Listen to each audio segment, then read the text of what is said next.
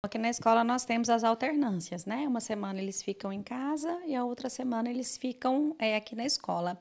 Na alternância B, nós tivemos o promotor, Dr. Elton, ele veio aqui para falar sobre bullying e cyberbullying. E na alternância A, nós tivemos o, o juiz também sobre o mesmo tema. Por que, né, que é tão importante? Esse ano, o bullying se tornou crime, né? E, e pode ser um crime de pagar uma fiança ou até mesmo de levar à prisão. Então, eles vieram para nos ajudar a fazer essa conscientização né, com os nossos alunos, para que eles não cometam e também reforçar para que eles não sofram um bullying, que a nossa preocupação aqui é dos dois lados, é proteger e orientar. É importante a gente falar também que a presença dessas pessoas que são autoridades aqui no nosso município reforça ainda mais essa seriedade para os alunos aqui da escola.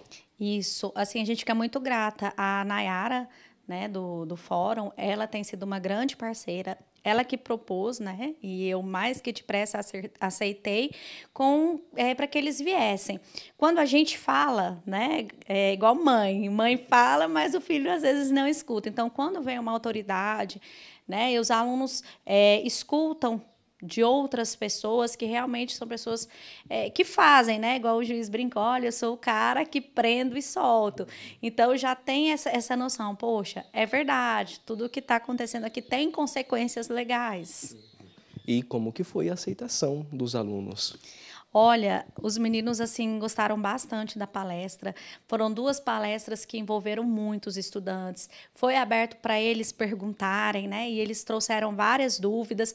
Então a gente vê que esse assunto ainda causa muita dúvida. E para nós também, eu falo para nós da gestão, os professores, quando os alunos trouxeram as dúvidas, a gente percebeu que em algum momento eles podem estar sofrendo algum tipo de bullying que a gente não estava percebendo, né? Porque a gente acha que bullying é só aquele exposto, mas não é. Tem outros tipos que a gente precisa trabalhar dentro do contexto e dentro da sociedade. E é importante a gente mencionar que a escola agrícola é uma escola interna e talvez esse meio acaba trazendo situações como essa. Por isso que palestra como essa é extremamente importante. Isso. A nossa escola é, é bem diferente das outras, né? Nas outras, os estudantes chegam sete, vão embora onze, meio-dia, né? E o contato, então, acaba sendo daquelas cinco horas, seis horas. Aqui, não. Os nossos estudantes chegam na segunda e eles vão embora na sexta. A gente tem essa relação com eles que é muito diferente. Eles dormem aqui, eles se alimentam aqui, eles estão em contato o tempo todo. É, entre si mesmos. Né? Então, vamos dormir. São 16 estudantes em cada alojamento. Eles precisam se respeitar, eles precisam saber viver né, em sociedade.